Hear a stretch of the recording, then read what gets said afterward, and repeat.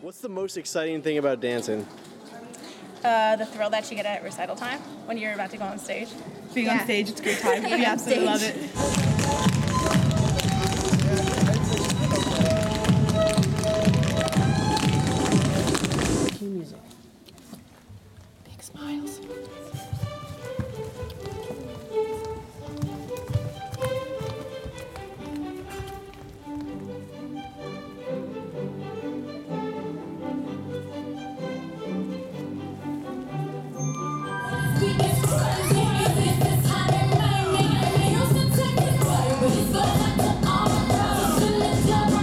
Yeah, it's terrifying sometimes. Yeah, At first it is, but I feel like You get used to it. after each you're like, rehearsal you get more used to it and you're ready.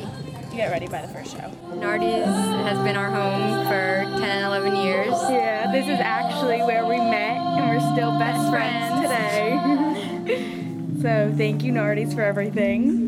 Thank We you. love you. Love you. We'll be back next year. Oh, yeah. I love that we're like a family Yeah. and we're all really close. And especially at recital time, we get closer. Definitely come together. Oh, yeah. We have our little food corner. We all are and have talk. Our music, our backstage fun. Can't get away from it.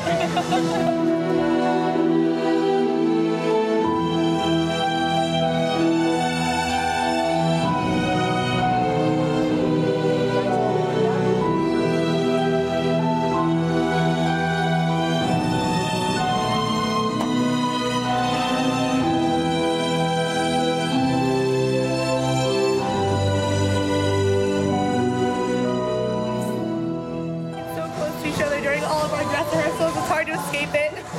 Yeah. What do you, what do you think is the hardest part? Getting change in time. Yeah. Definitely. Quick changes. They're very difficult. Taking things from studios to stages. Checking all of our dances that we don't. That's awful. Yeah. but we do our best. We do it. We But we come have together. we have enough rehearsals to get it oh, right by the show, so it all What's works like the biggest like um like tearjerker? Like uh, like usually the last show is the When saddest. the last show leave, when the last show comes and all the seniors and the leave, and we're curtain all comes down so at the end. down and all the tears just so come. bad. The tears just flow.